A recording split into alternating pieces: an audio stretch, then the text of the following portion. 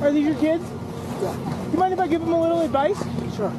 You know, if you push with your foot behind your snowboard, it's a lot easier and it uh, it's not as uncomfortable. Just little tiny small pushes.